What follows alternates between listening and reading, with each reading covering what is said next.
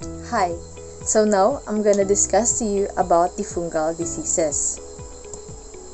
So, what is fungal disease?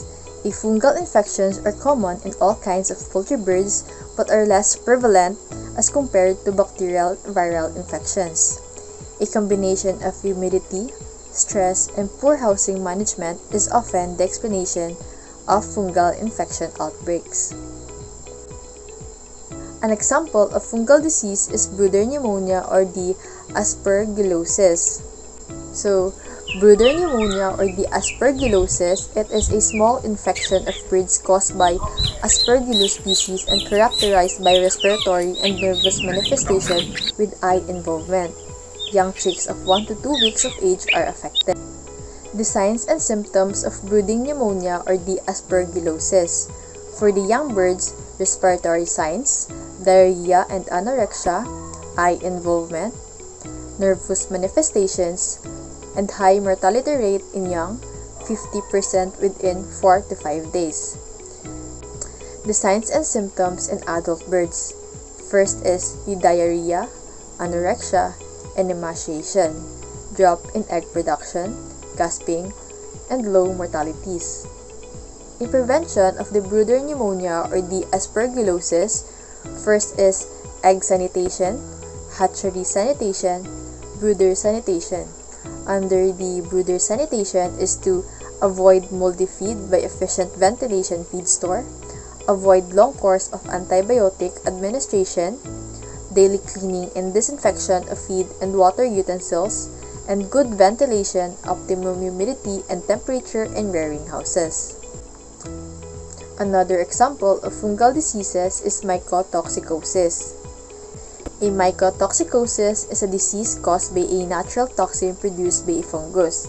In poultry, this usually results when toxin-producing fungi grow in grain and feed.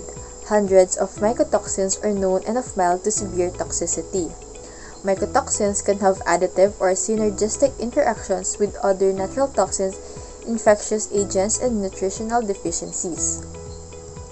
The signs and symptoms of mycotoxicosis reduced feed consumption, poor growth rate, reduced egg production, reduced feed conversion efficiency, increased susceptibility to diseases, increased mortality, poor eggshell quality, reduced fertility, leg problems, and carcass condemnation.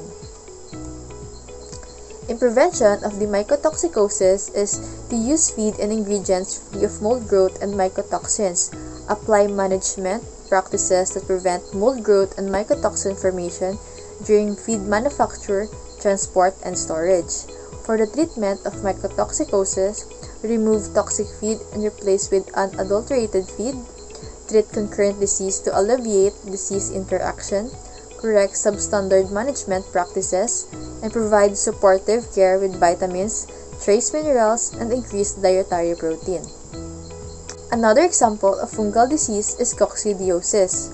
So, coccidiosis is caused by protozoa of the phylum Apicomplexa, family Eimeriidae. In poultry, most species belong to the genus Eimeria and infect various sites in the intestine. The infectious process is rapid it takes about 4 to 7 days and is characterized by parasite replication in host cells with extensive damage to intestinal mucosa. Poultry coccidia are generally host-specific and the different species parasitize specific parts of the intestine. The signs and symptoms of the coccidiosis. Symptoms of coccidiosis include weight loss, paleness, ruffled feathers, depression, huddling, unwillingness to eat, and watery or bloody diarrhea. All birds are at risk, but growing birds and young adults ages 3 to 5 weeks old seem most susceptible. In prevention and treatment of coccidiosis is to avoid wet litter, ensure proper management, avoid spillage of water, coccidiostats like Superdot, Clopidol, Cycostat, or etc. should be used in broiler mashes and brooder in grower mashes. Coccidial drugs like salinomycin and maduramycin should be used in broiler mashes only. Preventive water medication with coccidiostats like amprolium, cardinal may also be adopted. The coccidiostats used in feed may be rotated every 3 to 6 months to prevent the parasite developing resistance against drugs in use.